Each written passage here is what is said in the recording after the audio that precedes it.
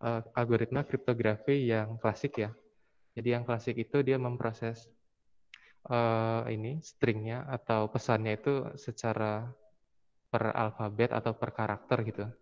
Tapi kalau untuk yang modern ini, itu kita akan memprosesnya itu tiap ini ya, tiap bitnya gitu ya. Jadi kalau satu karakter itu kalau diubahkan ke dalam uh, eh, 8 bit, nah jadi nanti prosesnya itu setiap bitnya.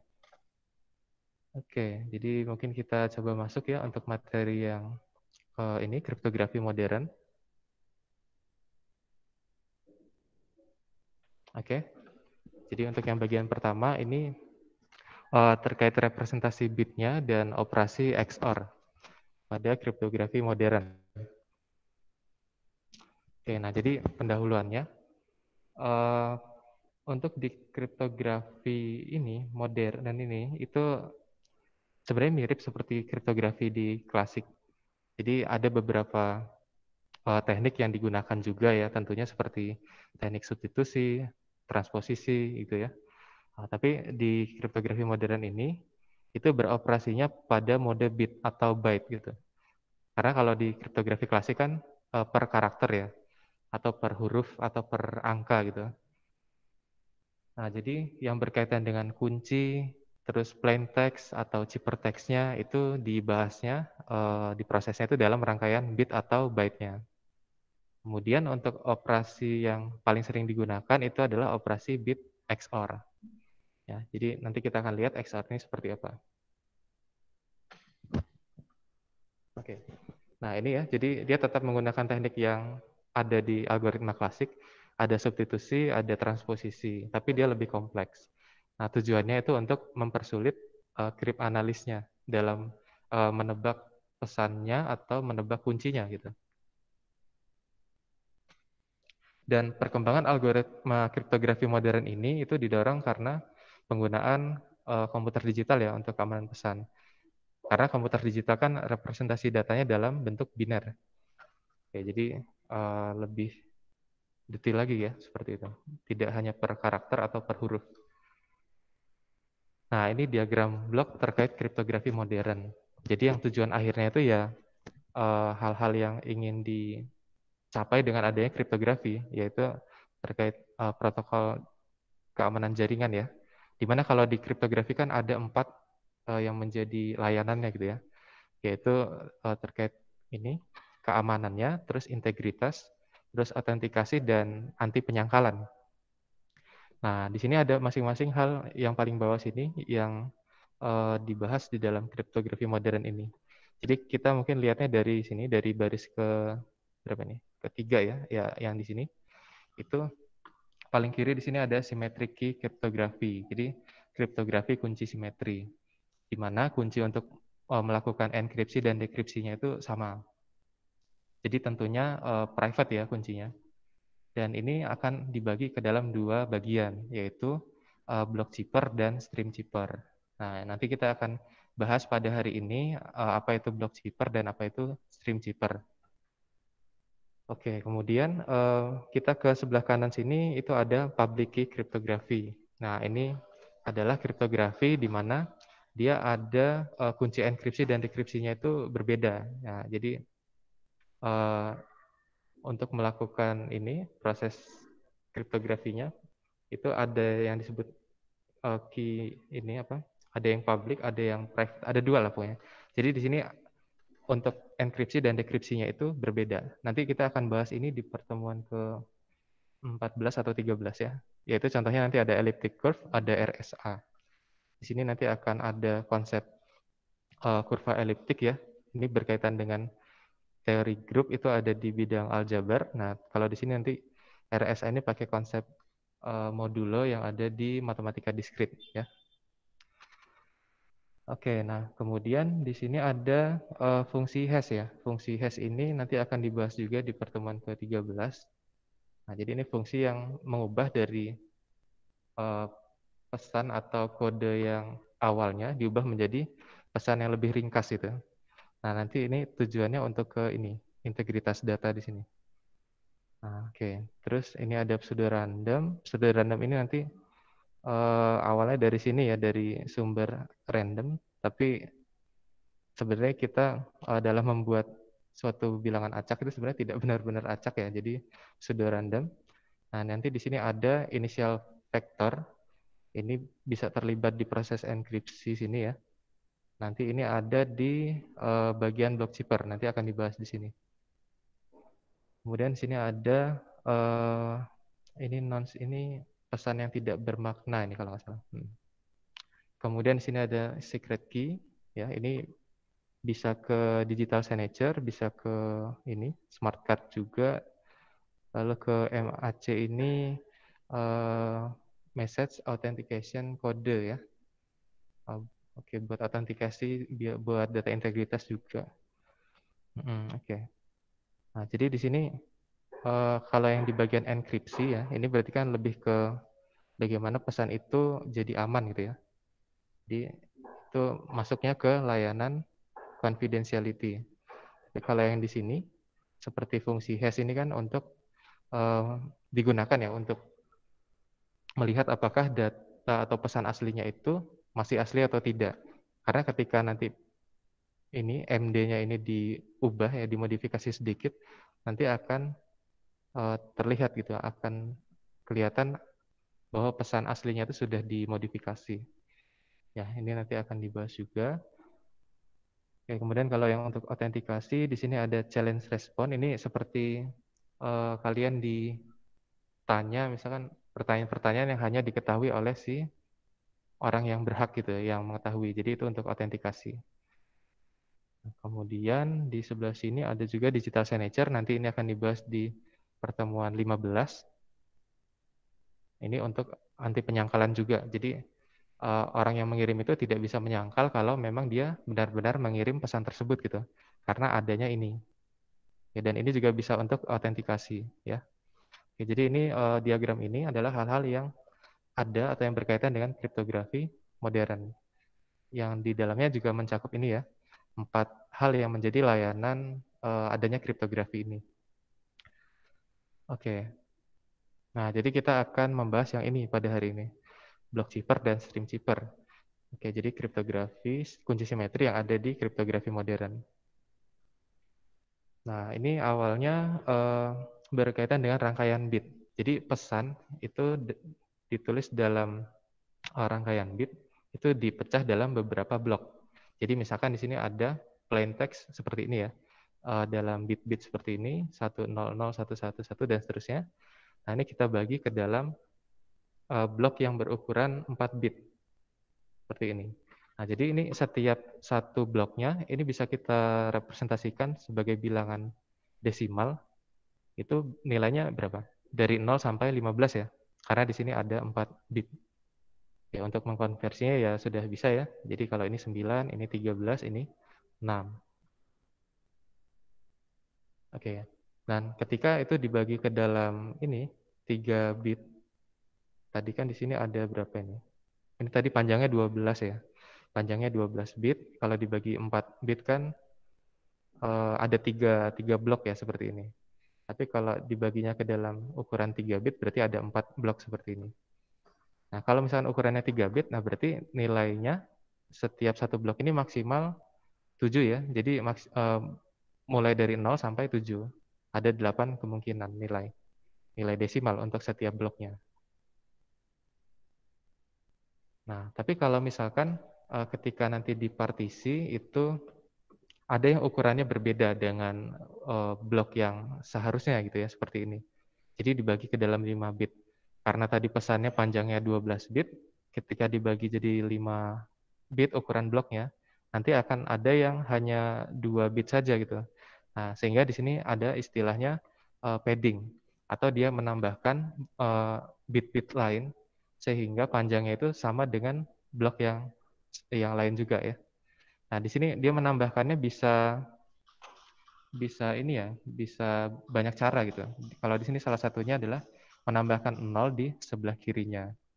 Kadang ada juga yang menambahkan nol di sebelah kanannya. Atau mungkin menambahkan satu atau juga uh, bilangan acak ya antara nol dengan satu itu. Oke, jadi padding bits ini akibatnya gimana dengan adanya padding ini? Jadi ukuran si text-nya jadi lebih besar ya daripada ukuran semula gitu ya. Hmm, jadi ukurannya lebih besar.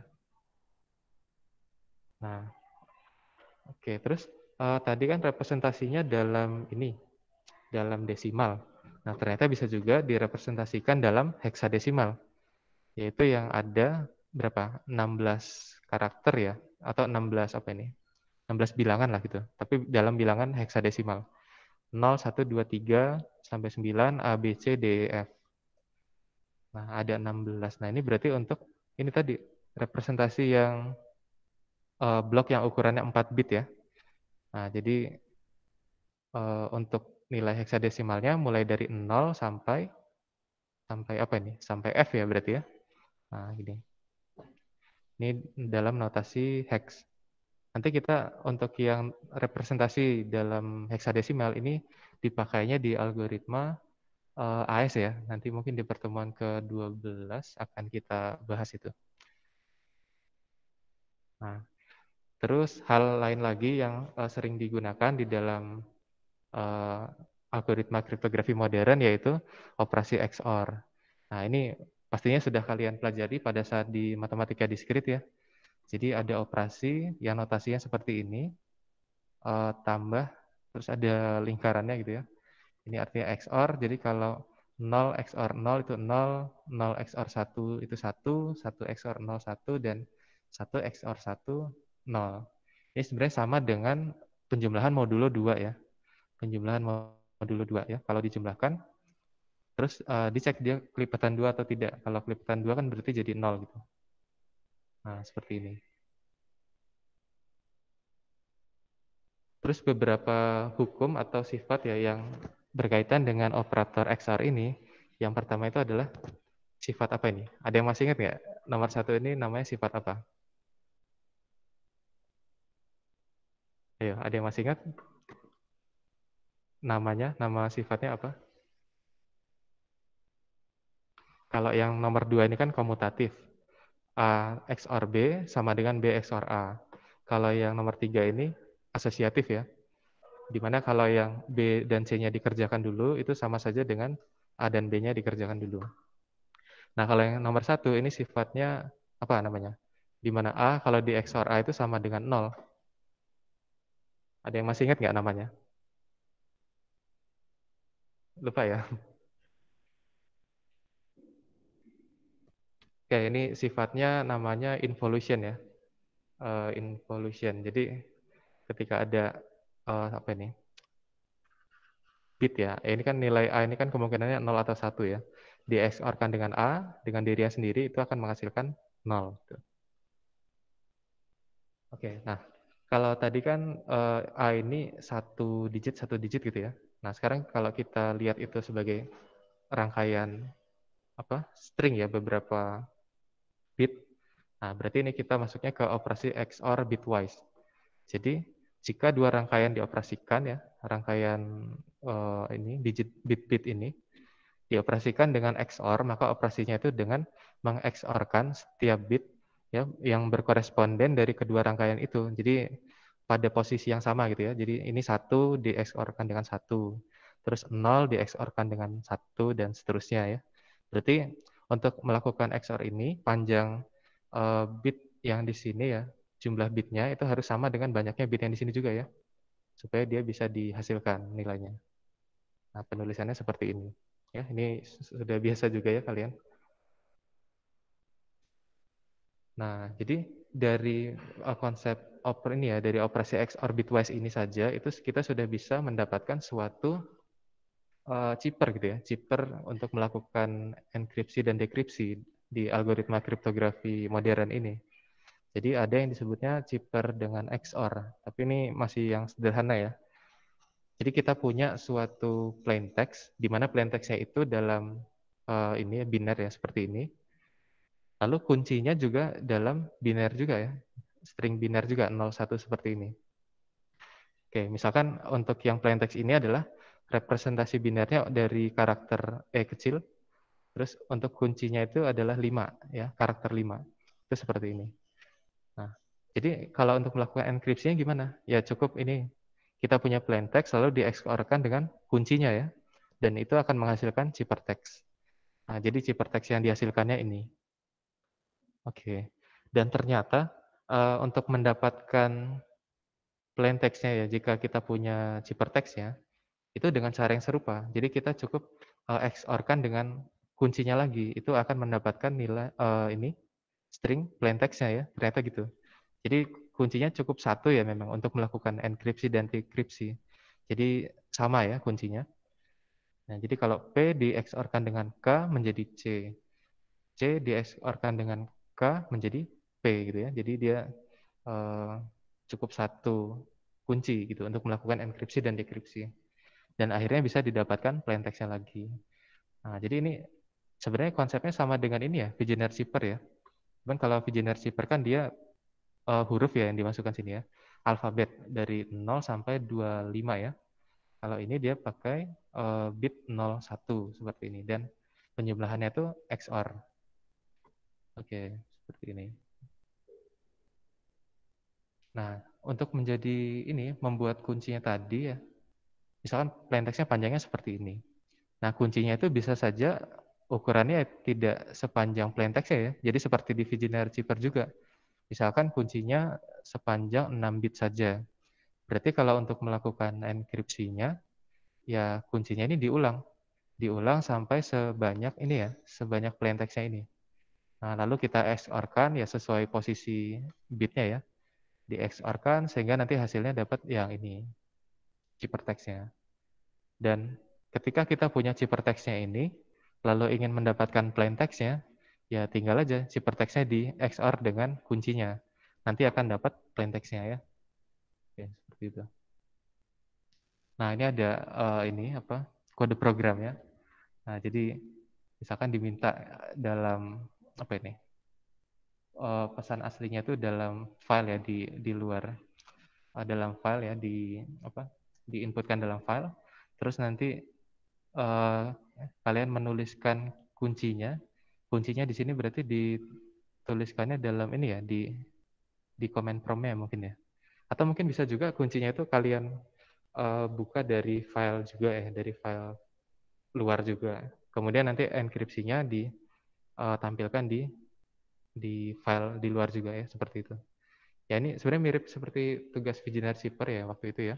Cuman ini kita pakai uh, bitwise ya, pakai XOR bitwise tadi. Oke. Nah ini mungkin bisa jadi tugas besar lagi, tapi uh, tapi sama saja ya, sepertinya sama yang waktu itu. Ya, jadi ya, yang penting kalian tahu lah ya. Jadi kalau yang di kriptografi modern ya mirip-mirip juga seperti yang ini. Terus ini ada contoh uh, ininya. Oke, jadi ya sama seperti yang di situ ya. Ini ada apa nih? Filenya, file plain text-nya di sini. Diminta sebentar. Oh, Oke, okay. dia dia minta untuk menenkripsi pesan ini dengan kuncinya kata ini virus corona. Tapi ini nanti diubah ke ini ya, ke biner ya, jadi bukan per alfabet. Terus nanti hasilnya ditampilkan di sini. Ya, sama lah ya seperti tugas yang waktu itu. Oke, dan ternyata eh, hasil dari ciphertext-nya ya seperti ini. Tapi kalau begitu, karena panjang kuncinya tadi ini ya, kurang dari plain text-nya, jadi kan dia berulang. Dan ini bisa diterka gitu ya, uh, bisa diselidiki, anal dianalisis pakai Kasiski, panjang kuncinya ini berapa gitu. Nah, berarti dia masih tidak aman ya kalau begitu ya, meskipun dia sudah diubah ke uh, biner ya, seperti itu. Nah, nanti akan ada beberapa uh, algoritma yang ini bisa membuat dia lebih aman. Hmm. Oh ini. Oh, pantesan nggak mau. Ini sudah habis ternyata. Oke okay, ya, itu untuk yang ini, uh, slide satunya. Oke, okay. sampai sini ada yang mau ditanyakan nggak? Atau masih cukup jelas ya? Gimana? Lanjut ya. Oke. Okay. Oke, okay, nah sekarang kita uh, coba ke yang Berikutnya yang kedua yaitu tentang stream zipper. Nah, jadi stream chipper itu apa itu? Jadi kalau untuk chipper yang berbasis bit ya, uh, itu terbagi jadi dua bagian ya. Yang pertama itu chipper alir, yang kedua itu chipper block. Chipper alir itu disebut juga stream chipper gitu ya. Nah, jadi stream chipper itu dia beroperasinya pada bit tunggal dan di uh, proses enkripsi dan dekripsinya juga bit per bit. Nah, tapi kalau untuk yang chipper block, dia akan uh, membagi dulu pesan-pesannya atau mungkin kuncinya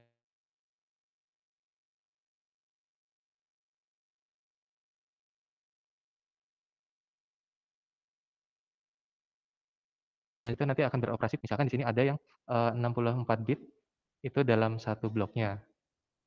Berarti dia ada 8 karakter ya tiap satu blok. Contohnya itu. Nah, terus uh, proses enkripsi dan dekripsinya juga blok per blok juga. Hmm. Ya, nanti kita lihat nih bedanya bagaimana nih antara ini stream dengan uh, block chipper ya. Nah, ini chipper alir nih. Nah, jadi uh, ya chipper alir atau stream chipper ya itu bahasa Indonesia-nya. Oke, dan ini dia mengenkripsi plain text menjadi chipper text itu setiap bit per bitnya dengan kunci bit-bit kunci yang dinamakan key stream. Nah, di sini nih key stream ya. Oke, nah jadi uh, di sini atau bisa juga nanti byte per byte ya. Tapi ini lebih kalau byte per byte ini lebih ke blok ya sebenarnya, blok chipper ya. Oke, jadi ini awalnya diperkenalkan oleh Vernam melalui algoritmanya Vernam chipper namanya. Dan ini diadopsi dari one time pad chipper. Oh, ini waktu itu belum sempat di ini ya, dibahas ya. Jadi ini one time pad itu uh, chipper yang uh, panjang kuncinya itu sepanjang ininya sepanjang plain text-nya. Dan ketika itu digunakan untuk uh, mengenkripsi suatu pesan, nah lalu dia tidak digunakan lagi. Jadi itu uh, ini ya apa? Memang jadi random benar-benar random untuk menjadi kuncinya. Hmm. Oke, ya mungkin nanti uh, untuk lebih lanjut mungkin nanti akan dijelaskan di waktu lain ya terkait one time chipper ini. Nah, oke. Okay. Nah, terus ini uh, diagram alirnya gitu ya untuk chipper alir ini seperti apa. Jadi di sini ada plain text.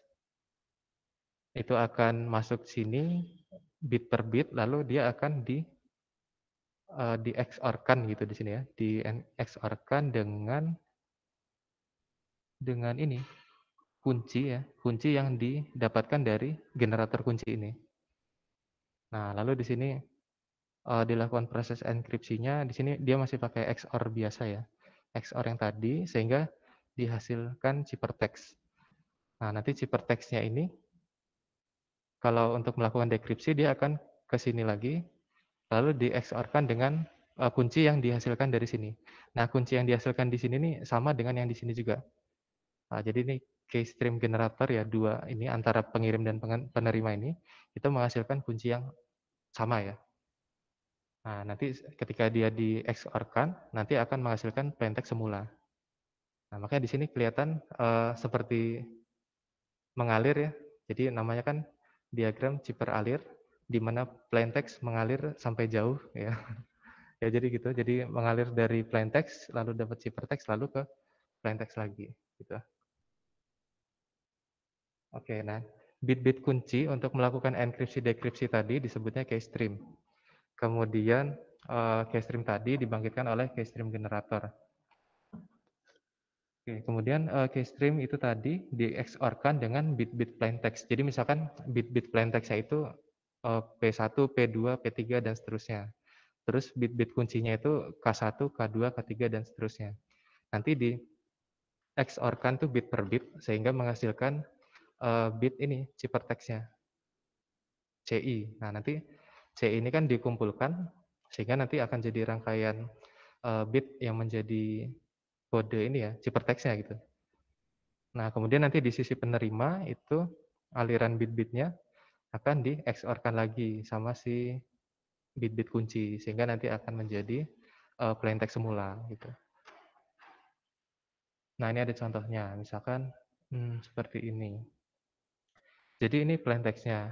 Yang uh, masuk satu persatu itu berarti tadi ini ya per bitnya ya.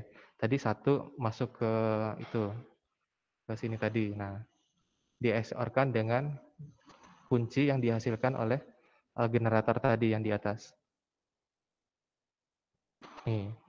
Terus nanti uh, dia menghasilkan ciphertext. Jadi dia per satu bit juga dihasilkan ciphertextnya. Ini, ini tambah ini, ini dan seterusnya ya. Kemudian ketika ingin melakukan dekripsi ya dengan cara yang serupa. Nah, berarti keamanan cipher alir ini uh, atau stream cipher ini itu bergantung seluruhnya pada ini case stream generatornya. Jadi kunci uh, ini apa generator pembangkit kuncinya ini yang menjadi peran pentingnya ya di sini ya. Nah, ini ada beberapa kasus yang bisa dihasilkan yang mungkin terjadi gitu ya. Ketika misalkan case streamnya itu seluruhnya nol, jadi kuncinya ini nol semua bitnya. Nah, kalau misalkan itu nol semua kan jadi ketika di XOR itu jadinya tetap ya, ya ciphertextnya akan jadi sama dengan plain text. Jadi itu seperti tidak berguna gitu proses enkripsinya ketika ini memang nol semua.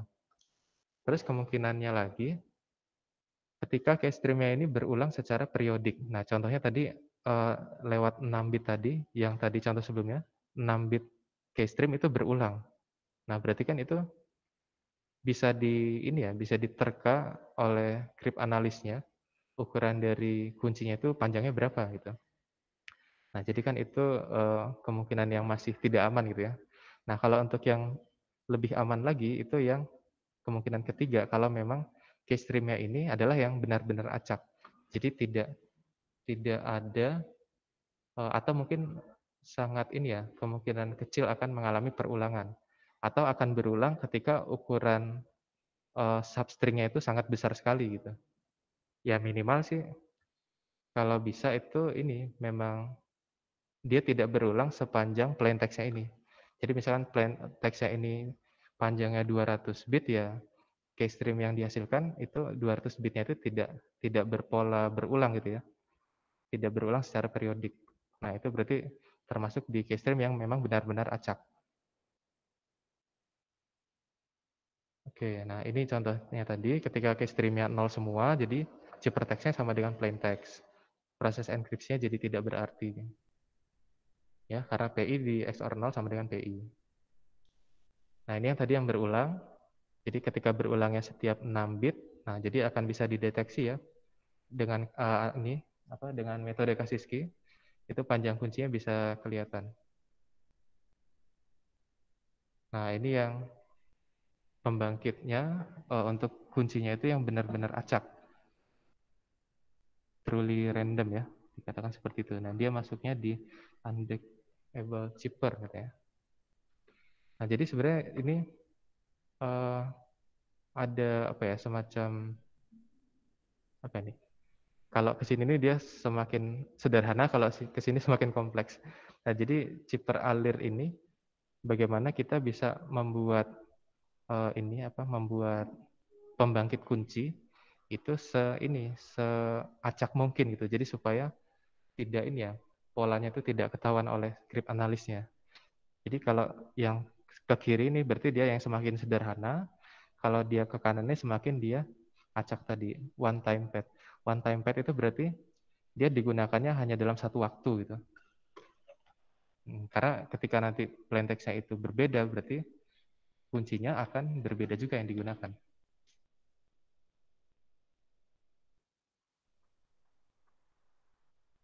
Oke ya, semakin acak keluaran yang dihasilkan oleh pembangkit case stream itu grip analis akan uh, lebih sulit lagi memecahkannya. Nah, jadi uh, case stream generator itu diimplementasikan sebagai prosedur ya, prosedur yang sama di sisi pengirim dan penerima. Oke, karena di sini kunci yang digunakan untuk enkripsi dan dekripsi itu sama. Dan case stream generator ini dapat membangkitkan case stream berbasis bit per bit atau dalam bentuk blok. Oke. Okay. Dan jika keystream berbentuk blok blok bit, chipper blok dapat digunakan untuk memperoleh chipper alir. Hmm, Oke, okay. nanti ini kita lihat nih. Nah, di sini. Keystream generator menerima masukan kunci U. Nah, jadi uh, untuk membangkitkan kunci itu tentunya akan ada uh, ini ya, apa namanya? Kalau bahasa Inggrisnya itu seed-nya atau uh, nilai pembangkitnya lah gitu ya, nilai pembangkitnya sehingga nanti bisa dihasilkan kunci dari sini. Nah, kemudian luaran dari ini, oke. Okay. Nah, jadi kita lihat nih. Jadi dari sini, dari keystream generator, diberikan suatu ini, U ini adalah fungsinya gitu ya. Atau nanti bisa juga kita masukkan nilai awal gitu ya di sini, sehingga nanti bisa dihasilkan kuncinya di sini. Nah, dari sisi penerima juga seperti itu. Nanti akan menghasilkan kunci yang sama. Atau kita contoh aja nih. Nah, U itu sebenarnya memang uh, inputan di sini ya. Jadi sebenarnya bukan, oh ya fungsi dari U di sini. Oke. Jadi misalkan nih kita punya uh, ini inputan di keystream generatornya tadi adalah string 1111. Kira-kira kita bisa nggak membuat suatu kunci ya, kunci kunci enkripsi gitu ya, yang panjang, tapi dia bisa acak gitu ya. Ya itu sebenarnya tidak terlalu acak, nanti akan ada batasan dia bisa berulang lagi. Nah ternyata caranya seperti ini. Algoritma sederhana memperoleh keystream. Ini kan ada 4, 4 bit ya. Sekarang kita coba XOR-kan bit ke-1 dengan bit ke-4. Nah kemudian hasilnya kita letakkan di bit kelimanya gitu. Nah jadi di sini ada 1 XOR 1 hasilnya 0. Kita taruh di sini. Jadi posisi ke-5. Terus uh, bit nomor 2 dengan nomor 5 hasilnya 1 kita taruh di sini. Jadi bit nomor 6 dan ini seterusnya. Jadi ini akan menjadi uh, kunci yang kalau kita lihat dalam beberapa panjang bit memang tidak tidak berpola. Tapi sebenarnya nanti akan terjadi perulangan, yaitu setiap 15 bit. Kenapa bisa 15?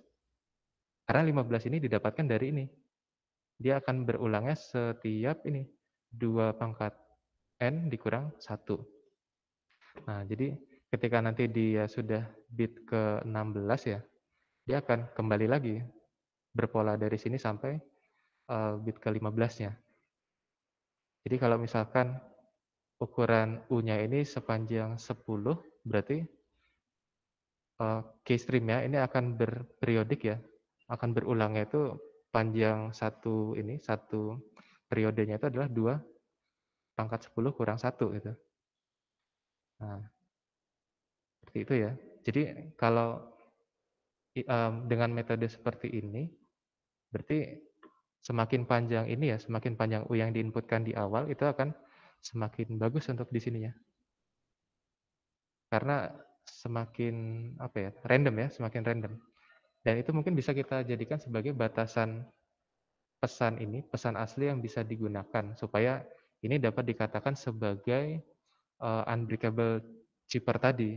Ya, jadi panjang kunci itu sama dengan panjang pesannya gitu. Jadi kita kalau misalkan 10 di sini jadi n-nya, ya harapannya panjang pesannya yang ideal gitu, itu tidak lebih dari ini, dua pangkat n min 1 ini. Oke ya, itu untuk contoh membuat ini ya, memperoleh keystream ya.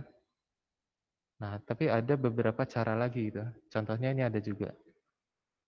Ada yang disebutnya FSR atau Feedback Shift Register. Nah, di sini kita punya uh, FSR terdiri dari dua bagian. Jadi ada register geser n bit yang di atas ini dan ada fungsi umpan balik yang di bawah. Oke. Jadi di sini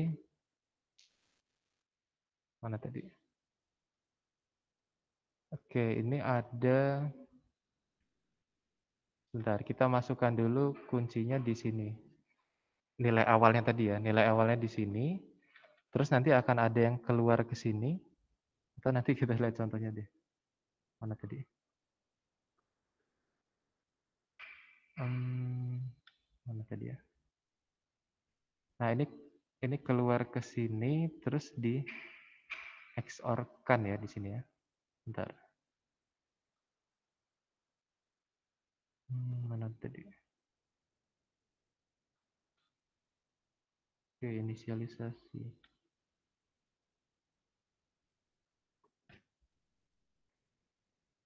Hmm. Ini XOR-nya dengan yang mana tadi ya?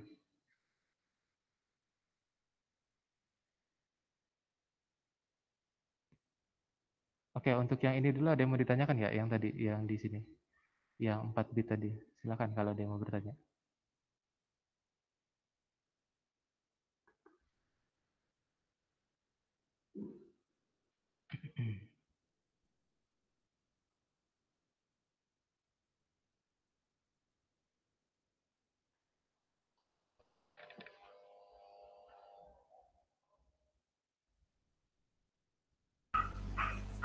Pak, saya ingin bertanya Pak. Ya, yang mana? Kalau yang pakai keystream generator itu berarti yang jadi kuncinya itu seatnya itu ya Pak ya? Iya, seatnya ini berarti. Oh berarti seatnya itu harus diingat itu cuma satu karakter aja berarti Pak ya? Kalau ini seatnya bisa ini, bisa lebih dari satu karakter. Seperti yang di sini kan. Ya, kalau ini seatnya satu satu satu satu gitu. Nah ini Oh. Bisa juga sebenarnya uh, ini ya. Kalau kan ini n sebenarnya tidak harus empat kan. Bisa saja lima enam atau seterusnya. Hmm. Oke Pak, terima kasih Pak. Oke. Hmm, Oke, sebentar. Untuk yang di sini ini, ini ada bit luaran. Ini XOR-nya dengan yang mana ya? Tadi ya, saya lupa nih. Oh, oke oke oke. Ini nih gini. Hmm. Jadi kalau yang L apa tadi ya? FSR ya. FSR. Awalnya itu kita uh, menempatkan dulu di sini uh, bit-bitnya itu ditaruh di sini di bagian awalnya ya. Ada berapa ini berarti? Ada n ya. Ada sebanyak n bit. Nah, kemudian ini dari bit 1 ya dengan yang kalau di sini dia contoh LFSR-nya 4 bit. Jadi dari bit 1 dengan yang bit 4 ini di XOR-kan. Nah, hasilnya itu berapa nanti itu ditaruh di sebelah kirinya. Nah, ini kan nanti digeser nih. Digeser keluar ya. Nah, tapi yang kita simpan menjadi kuncinya itu adalah yang keluar dari sini gitu. Yang keluar dari sini. Nah, ini kan B1 keluar nih, keluar. Terus B2-nya geser ke sini, B3-nya ke sini, B4-nya ke sini. Nah, yang menempati tempat ini adalah nilai XOR dari B1 dengan B4. Hasilnya kita taruh di sini. Oke. Dan kemudian uh, hasil di sini sekarang akan kita XOR-kan lagi dengan sesuatu yang ada di sini tadi. Nah, terus ini nanti kita geser lagi sehingga nanti hasilnya jadi uh, ditempati terus dan ini bisa seterusnya. Oke, atau kita coba deh. Kita coba ya di sini yang ukuran 4 aja yang tadi. Tapi sebenarnya tidak harus 4 ya.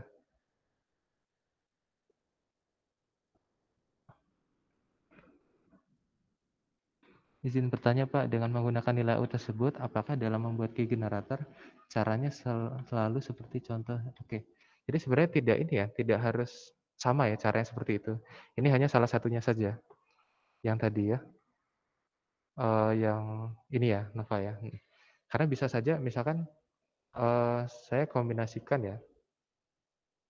Tadi kan XOR-nya cuma yang dari bit satu dengan bit yang keempat, yang terakhir ya bisa saja mungkin dari satu dengan bit yang ke tiga. Tapi kalau yang bit yang ketiga berarti bit yang keempatnya tidak terpakai ya.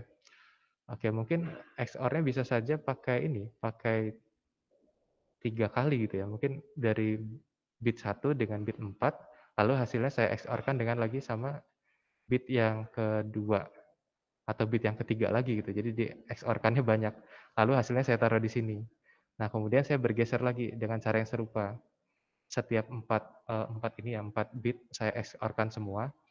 Kan XOR itu sifatnya asosiatif ya. Jadi bisa mana yang dikerjakan dulu. Sehingga nanti hasilnya jadi di bit nomor 6 ya dan seterusnya. Jadi ini salah satunya saja. Uh, mungkin yang uh, yang apa? Yang paling sering digunakan untuk contoh di awal gitu ya untuk membentuk keystream itu seperti ini. Nah, tapi kan kita bisa memodifikasi metodenya tadi ya mau pakai bagaimana cara apa membentuk keystream ya. Oke, gitu Nova ya. Nah, terus yang tadi yang ini nih, kita coba ya. Kalau tadi kan ini yang contoh awal nih yang sini. Kita coba yang ini uh, feedback shift register. kita pilihnya misalkan yang 4 bit ya, yang ini. Oke, misalkan tadi kita punya uh, yang jadi U-nya, yang jadi apa seed-nya gitu ya, pembangkitnya. Itu misalkan 1, 1, 0, 1 misalkan. Nah, berarti kan kita ingin mengetahui uh, key-nya gitu ya. Key stream-nya apa, kunci alirnya. Nah, berarti pertama kan ini kita kita dorong ya, tadi ya, kita dorong sehingga ini menjadi uh, satu. Nah, sehingga di sini kan dihapus nih. Dihapus terus oh ya, sebenarnya ini di di di XOR-kan dulu ya. Tadi satu di XOR-kan dengan satu itu nol ya. Nah, sehingga nanti ini akan bergeser ke kanannya. Nah, terus nanti di sini jadi jadi hasil itunya XOR-nya yaitu 0. Nah, kemudian uh, ini kan tadi sudah ke sini. Nah, nanti berikutnya yang ini akan menjadi key berikutnya. Ya, ini kalau ditulis ke samping juga nggak apa-apa ya, sama aja. Kemudian nanti ini dengan ini di XOR-kan. Dapatnya berapa? 0 lagi ya.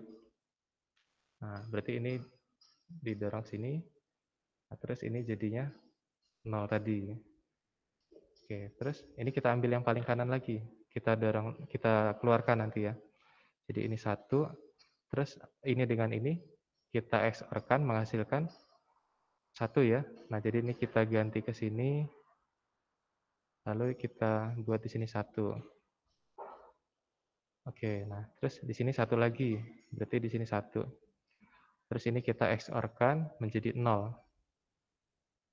Nah ini seterusnya, dan ini kita lakukan seterusnya. Oke, berarti di sini nol.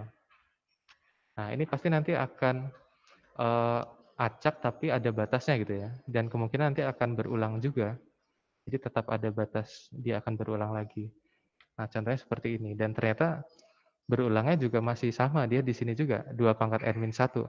Bergantung dengan n-nya tadi ya. Ada berapa banyak tadi yang dijadikan nilai inisialnya di sini. Ada apa? Bit awalnya ya bit awalnya di sini. Oke seperti itu. Dan ini bisa kita modifikasi juga sebenarnya mungkin bisa aja kita dalam melakukan ini bukan bit satu dengan bit 4 mungkin bit 2 dengan bit 3 gitu ya bisa juga ya dimodifikasi seperti itu. Tapi yang umumnya untuk yang uh, ini LFSR bit 4 bit ini kita lakukan XOR-nya di bit 1 sama bit 4 ya di sini. Oke, sehingga ini barisan bit acaknya diperoleh seperti ini. Ini digunakan untuk enkripsi pesannya. Hmm. Dan untuk dekripsinya juga ya. Karena uh, keystream ya yang dihasilkan oleh penerima dan pengirim itu sama. Oke. Nah, itu teknik melakukan enkripsi dan dekripsinya. Eh, kira-kira kelemahannya apa nih dari chip alir ini? Karena itu tadi ya, eh, kunci untuk melakukan enkripsi dan dekripsinya itu sama gitu. Jadi, hmm, di sini ada serangannya itu disebut non-plain text attack. Jadi, crypt analis itu mengetahui potongan dari plain text dan ciphertext yang saling berkorespondensi gitu. Cuman kan belum tahu ini ya, uh, kuncinya apa gitu. Oke. Nah, ternyata kalau kita selidiki nih, K itu kan kunci gitu. P plain text, terus C-nya ciphertext. Kalau P kita XOR-kan dengan C, itu kan sama saja P ini kita XOR-kan dengan apa? C ini kan adalah plain text di XOR dengan key, dengan kunci. Ya kan, cara mendapatkan ciphertext kan seperti itu. Nah, terus ini bisa kita asosiatifkan ya. Jadi kita kerjakan yang P, XOR-kan P dulu ya, sifat asosiatif. Dan ternyata ini jadinya ini. Jadi nol. Kenapa nol? Ya ini karena sifat involusi tadi di XOR. Ketika ini apa bit yang sama di XOR-kan dengan dirinya sendiri gitu ya. Ya, P dengan P gitu kan menjadinya 0. Dan 0 di XOR-kan dengan K jadinya K. Jadi saya ini, jadi kita bisa dapatkan ketika plain text ini memang dia diketahui berkorespondensi dengan si C, berarti kan kuncinya kita bisa langsung dapat di situ. Kita XOR-kan saja P dengan C-nya, dapatlah si K. Nah, jadi seperti ini ya. Akhirnya dapat uh, kuncinya ya, ini. Oke, nah terus uh, di sini ada crypt analis hanya memiliki beberapa potong ciphertext saja. Namun crypt analis mendeduksi bahwa ciphertext tersebut dihasilkan dari penggunaan potongan keystream yang sama. Oh, ini jika ini ya apa? Terjadinya perulangan ya. Oke, misalkan gini. Crypt analis memiliki dua potongan ciphertext berbeda. C1 C2. Oh, Oke, jadi ini potongan teks berbeda gitu ya, maksudnya uh, bukan sama ya, bukan bukan yang berulang tapi yang berbeda. Ketika ini di XOR kan, pasti itu akan merupakan hasil XOR dari P1 dengan P2, di mana P1 ini bisa berkorespondensi dengan C1 dan P2-nya itu berkorespondensi dengan C2. Jadi P1 itu adalah plain text untuk C1-nya dan P2 itu plain text untuk ciphertext C2. Nah, jadi kan kita tinggal mencari kemungkinannya saja. Kalau misalkan kita dapat nih ciphertext-nya itu potongannya seperti ini, C1 dan C2 itu seperti ini. Terus kita coba XOR-kan. Nah, pasti hasil XOR-nya itu kalau kita bisa partisi, uh, mungkin dilihat dari ada berapa kemungkinan untuk mempartisi ke dalam dua plain text gitu ya. Nanti akan bisa kelihatan uh, mana yang P1, mana yang P2. Ya meskipun memang tidak langsung kelihatan, tapi dengan uh, beberapa apa, percobaan, karena ya grip analis memang seperti itu kan, dia mendaftarkan semua kemungkinannya ya. Tapi kalau misalkan kita dapat nih, kita dapat satu pasang antara ciphertext sama plain text yang memang berkorespondensi, kan nanti kuncinya jadi bisa dapat yang di sini tadi. Jadi itu nanti bisa dipakai untuk yang seterusnya ya. Tapi ini kalau memang dia ini ya, uh, kuncinya itu yang berulang. Oke, nah tadi. Nah ini. Jika P1 atau P2 tidak diketahui, dua buah plaintext yang ter XOR satu sama lain ini nah dapat diterkam menggunakan statistik pesannya. Oh ya, ini berarti pakai yang ini ya, huruf yang sering muncul. Hmm. Oke, terus ini ada juga teknik untuk melakukan serangannya dengan cara flip bit attack. Jadi membalikan uh, ini ya, kalau bit 1 jadi 0, 0 jadi 1 gitu. Sehingga hasil deskripsinya ber, dekripsinya berubah. Oke. Nah, ini ada contoh. Ini sebenarnya serangan ini nih tujuannya bukan bukan untuk mengetahui pesan aslinya sebenarnya, tapi ini memang sengaja untuk mengubahnya. Mengubahnya untuk ini ya, di sini dikatakannya uh, mana tadi? Oh, nggak dikatakan. Ini untuk mengacaukan ini sebenarnya, untuk mengacaukan pesan yang mau dikirimkan ke penerima aslinya gitu. Jadi contohnya ada plain text seperti ini, dia ingin mentransfer uang dengan nominal sekian, uh, ini ada informasi lainnya gitu ya. Nah, dia sudah tahu kalau pada posisi ini tuh berupa nominal uang gitu dan dia ingin uh, memanipulasi nilai atau nominalnya ini. Nah, berarti dia lakukan flip ini tadi. Flip, ini di flip bukan ya? Oh, di flipnya tapi satu ini saja ya, satu bit saja. Dan kalau satu bit ini diubah, ternyata nanti bisa mengubah nilai nominal uangnya di sini. Ya. Jadi ini serangan yang nomor tiga ini, ini bukan untuk mengetahui pesan aslinya, tapi berusaha untuk mengacaukan pesan aslinya yang mau diterima ke uh, penerimanya tadi yang berhak itu. Nah, Oke, jadi dan ini tadi asumsinya dia sudah mengetahui ya pada bagian ini tuh uh, informasinya terkait nominal uang. Nah, jadi kan ini sangat sangat apa? Sangat ini signifikan kalau misalkan angkanya yang di sini 10 dolar dia berubahnya jadi sekian gitu. Nah, ini tadi. Jadi pengubah pesan itu tidak perlu mengetahui kuncinya, dia hanya perlu mengetahui posisi pesan yang diminati saja ya. Dia mungkin uh, entah dia hanya iseng saja atau memang sengaja ingin supaya pesan aslinya itu tidak sampai ke penerima yang berhak gitu. Oke, dan serangan semacam ini dia memanfaatkan karakteristik cipher alir. Jadi kesalahan satu bit pada cipher text itu hanya menghasilkan kesalahan satu bit pada plain text. Karena nanti akan ada ya di ini cipher cipher block. Kalau misalkan kesalahan satu bit pada cipher text itu nanti akan berdampak ke uh, satu rangkaian seluruhnya. Tapi kalau ini kan hanya di bagian sini saja.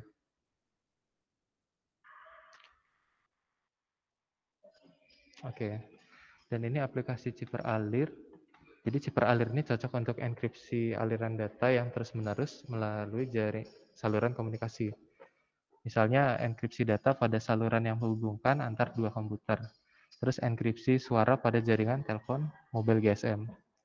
Alasannya kenapa nih? Karena jika misalkan terjadinya kesalahan gitu ya, eh, bit ciphertextnya mengalami kesalahan, maka hal ini akan menghasilkan satu bit kesalahan pada waktu dekripsi ya.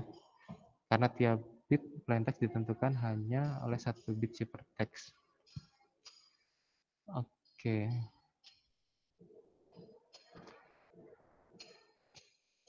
Oh ya, di sini tadi ini aliran data yang terus menerus. Berarti kalau hanya satu bit itu berarti tidak terlalu ini ya, tidak terlalu apa, signifikan kalau memang yang berubah itu hanya satu bit di ciphertextnya saja. Kecuali kalau yang berubah itu langsung satu ciphertextnya seluruhnya gitu. Itu nanti yang di block sih. Nah itu kalau yang seperti itu tidak cocok untuk aliran data yang terus-menerus seperti ini.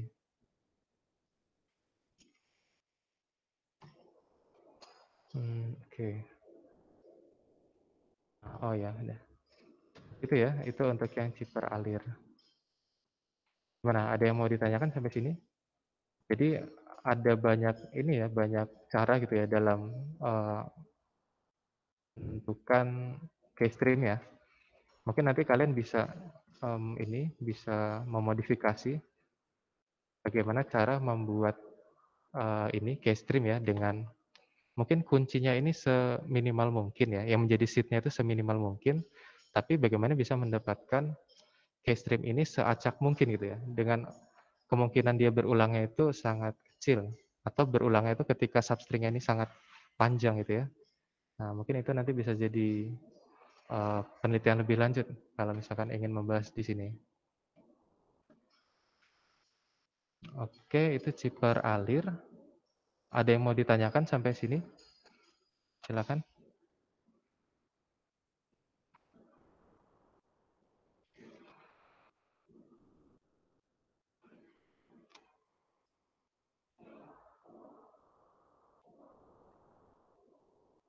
Ya, biasanya di sini nanti ini ya, uh, apa? Contoh-contohnya itu bagaimana membuat ini tadi.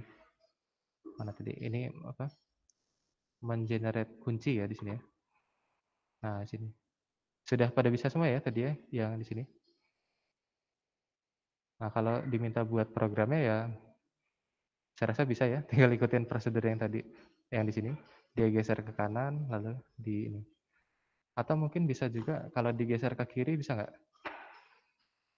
Hmm, oh nggak bisa ya? Karena ini kan, eh bentar. Hmm, nggak terlalu berpengaruh sepertinya digeser ke kiri atau kanan. Oke, ada yang mau ditanyakan? Atau kita lanjut ke ini ya, chipper block ya, yang ketiga ya. Nah, yang di chipper block ini yang akan ada banyak lebih kompleks lagi di sini. Coba kita lihat. Jadi uh, ini chipper block. Kalau tadi kan dia uh, chipper alirnya per per bit ya. Kalau ini dia harus dibagi ke beberapa blok dulu. Jadi contohnya misalkan bit-bit plain text-nya dibagi ke dalam blok-blok dengan panjang yang sama, misalkan 64 bit. Kemudian panjang blok ciphertext ini itu harus sama dengan panjang blok plain text. Ya, karena kita akan mengubah blok plain text-nya ini menjadi uh, blok ciphertext ya. Dan enkripsi itu dilakukan pada blok plain text dengan bit-bit kuncinya nanti.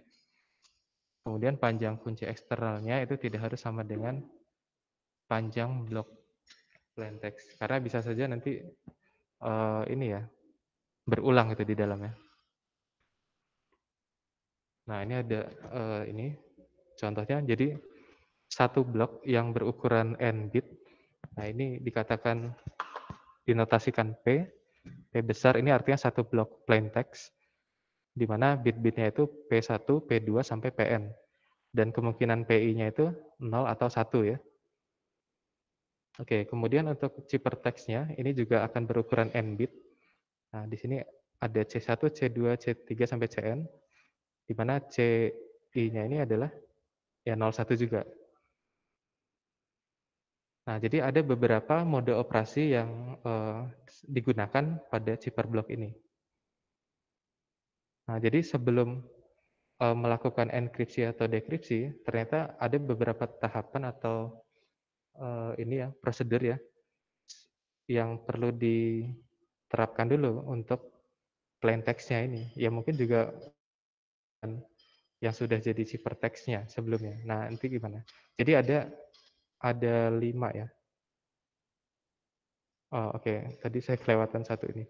Nah, jadi ini untuk skemanya seperti ini. Jadi ada plain text yang tadi dari P1 sampai Pn, itu nanti dengan kunci yang dihasilkan dari keystream tadi, itu dilakukan enkripsi, kemudian hasilnya adalah blok ciphertextnya.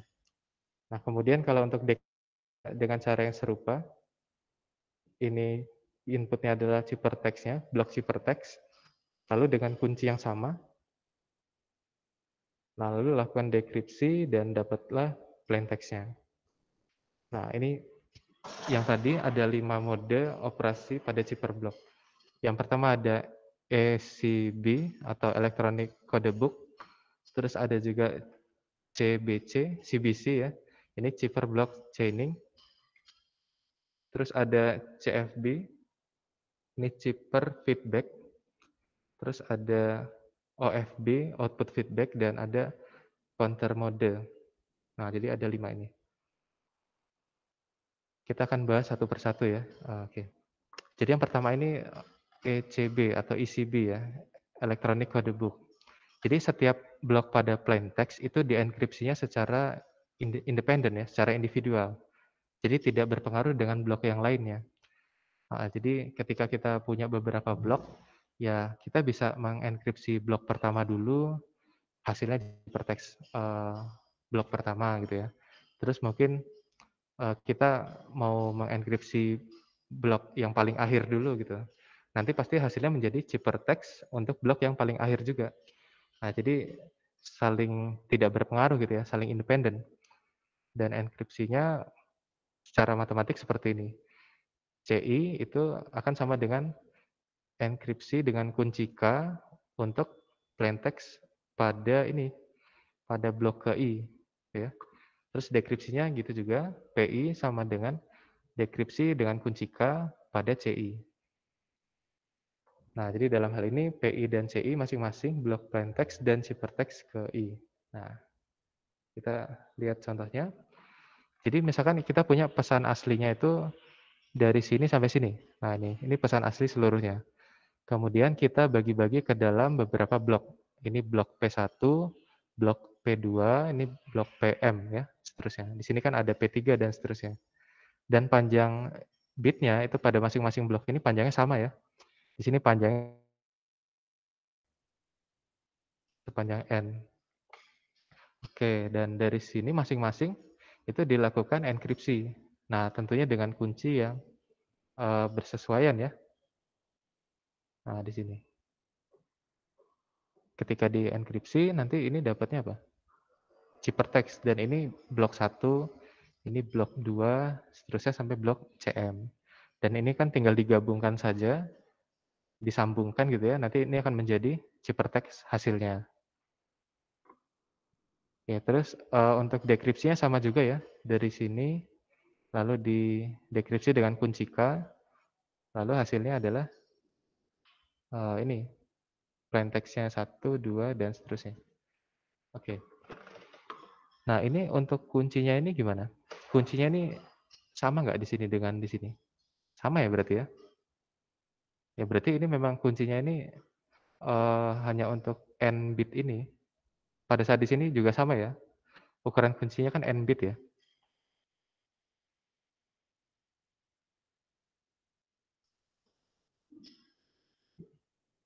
Mana tadi? Hmm. Oke, nah ini. Jadi contohnya nih, misalkan plain text-nya seperti ini, panjangnya ada 20 bit, kemudian kita bagi ke dalam blok-blok dengan panjang 4, seperti ini. Ini kalau misalkan dalam notasi heksadesimal, jadi A23, A9. Nah, kuncinya juga 4 bit, karena dia menyesuaikan dengan panjang ininya, panjang bloknya ya, uh, ukuran bloknya gitu. Oke, dan misalkan fungsi enkripsinya itu uh, sebentar. Kunci enkripsi di sini bisa beragam juga ya. Yang jelas dia melibatkan plain text-nya yang berukuran 4 bit dan kuncinya 4 bit. Di sini fungsi enkripsi E yang sederhana yang digunakan itu uh, prosedurnya seperti ini. XOR-kan blok plain text dengan kunci K, kemudian geser secara wrapping bit-bit dari PI XOR K itu satu posisi ke kiri atau kita uh, sering sebut juga ini uh, dengan cara shifting gitu ya. Jadi bergeser. Nah, jadi misalkan hasil penjumlahannya ini, hasil XOR-nya ini kan ada 4 digit ya. Ada 4 bit. Nah, itu digeser ke kiri. Nanti yang paling kiri itu akan berpindah ke paling kanan gitu. Nah, ini notasi matematikanya seperti ini. Enkripsi dengan kunci K pada blok P, plain text P ya, ini akan sama dengan uh, plain text P-nya XOR-kan dengan K, lalu digeser satu ke kiri gitu. Ya, ini notasinya seperti ini. Nah, kita lihat contohnya gimana. Nah, ini kan yang atas ini plain text-nya nih. Nah, ini kan plain text blok 1, blok 2, blok 3, blok 4, blok 5. Kemudian yang ini adalah kuncinya. Kuncinya kan sama ya, di setiap blok ini kuncinya sama. Terus kita XOR-kan dulu katanya. Kan tadi uh, algoritma enkripsinya gitu. Dia XOR-kan dulu, hasilnya seperti ini. Oke, kemudian dari hasil XOR-nya itu digeser satu ke kiri. Nah, jadi ini satunya geser ke sini. Nolnya ke sini, nol yang ini ke sini, nol yang paling paling kiri sini dia berpindah ke belakang. Ya, jadi dapatlah yang ini. Ini sama juga. Satunya ini geser ke sini, nolnya ke sini, nolnya ke sini, satunya ini geser ke belakang. Jadi dapatnya 0, 0, 1, 1. Yang lain juga seperti itu ya, dengan cara yang sama. Nah, sehingga hasil dari inilah yang jadi uh, ciphertext-nya. Ya, yang ini. Terus ini kalau misalkan mau dikembalikan dalam notasi uh, heksadesimal ya misalkan ya, jadi seperti ini. Oke, seperti itu ya. Nah, ini pergeseran ini juga sebenarnya bisa beragam ya. Bisa aja dua bit ke kiri. Jadi ketika dua bit ke kiri ya satunya ini bergesernya ke sini, terus nanti nol yang di sini ini jadi pindah ke belakang gitu ya. Jadi uh, apa ya seperti apa ya istilahnya? Shift ya, shifting. Saya tahunya shifting istilahnya. Ya seperti itu ya. Hmm, Oke. Okay. Nah, jadi, tapi kalau seperti ini itu gimana ciri-cirinya? Jadi kalau ada blok plain text yang sama ya, ini 1010, pasti akan selalu dienkripsi menjadi blok ciphertext yang sama juga.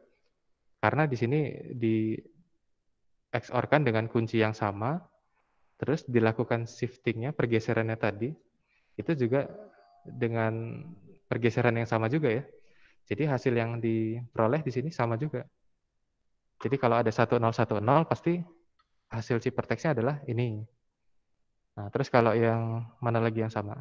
Nggak ada lagi ya. Misalkan nanti di suatu tempat di plain text-nya ada 1001 juga. Nah, pasti nanti hasil ciphertextnya juga ini juga 0100. Oke, sehingga tinggal ini aja ya, pemasangan atau uh, fungsi gitu ya dari inputannya ini ada berapa kemungkinan, lalu dipasangkan dengan kemungkinan yang di sini, kemungkinan hasil pemetaannya gitu ya.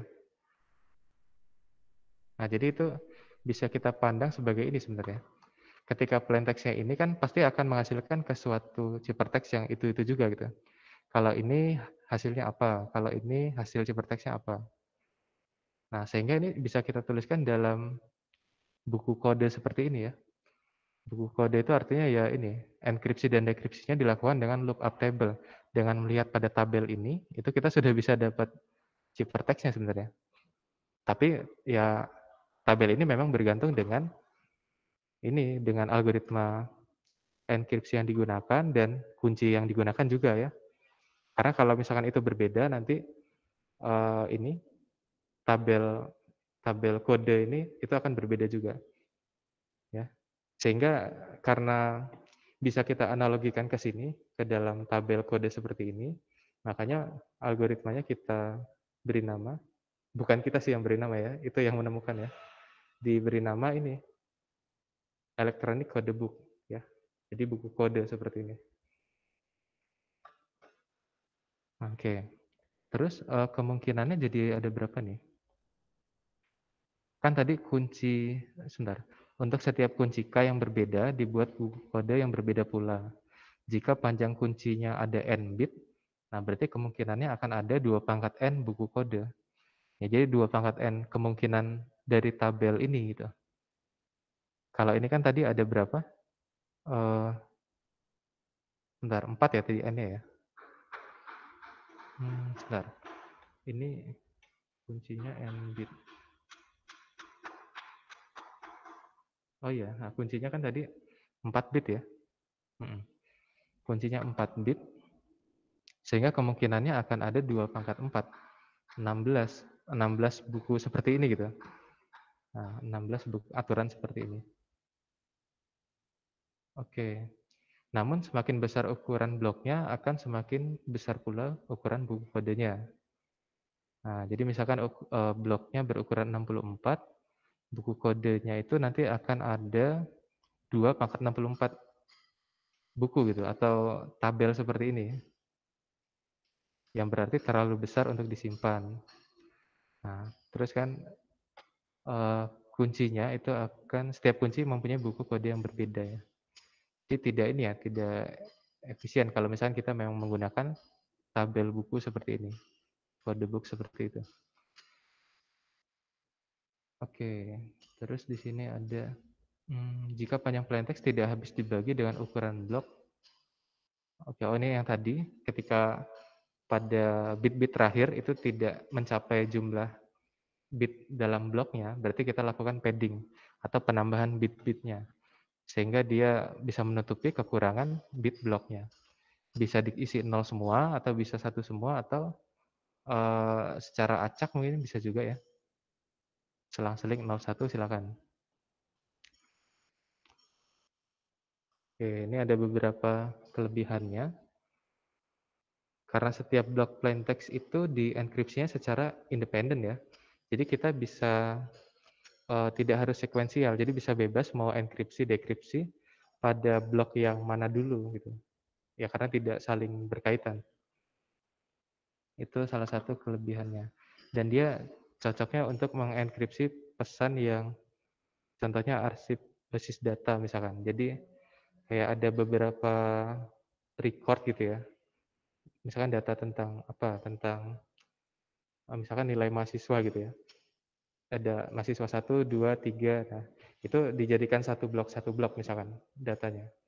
Nah berarti kan melakukan enkripsi dekripsinya itu di setiap bloknya tadi di setiap recordnya.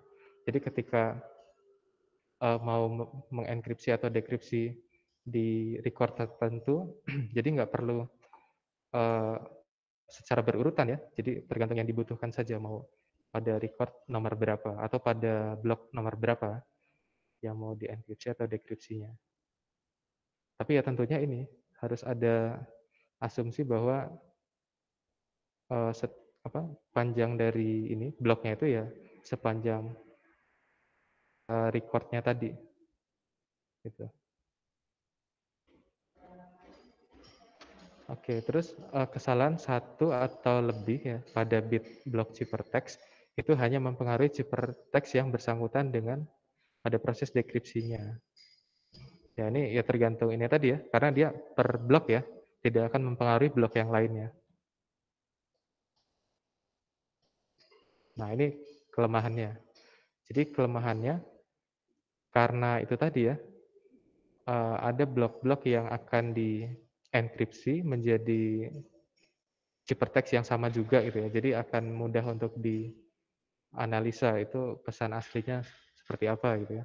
Oleh cryptanalyst bisa bisa digunakan ini analisis frekuensi ini. Terus juga apa menentukan panjang kunci juga itu bisa juga.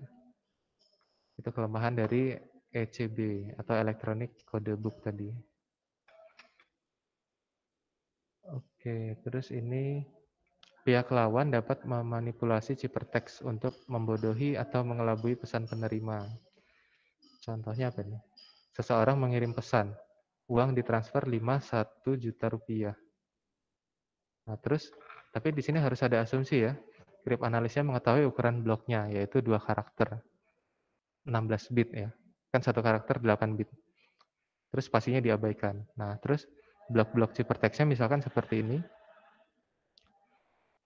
Nah, kemudian uh, ini juga diasumsikan uh, mengetahui posisi pesan yang berkaitan dengan nominal uang. Ini contoh yang tadi juga ya. Misalkan ada di sini. Nah, berarti dia tinggal membuang ini, membuang ciphertext ini, sehingga nanti jadi hilang dan dapatnya seperti ini. Ternyata ketika di di dekripsi uh, hasilnya jadi seperti ini ya. Uang ditransfer satu juta rupiah. Nah, berarti dia membuang plain text kata lima tadi ya.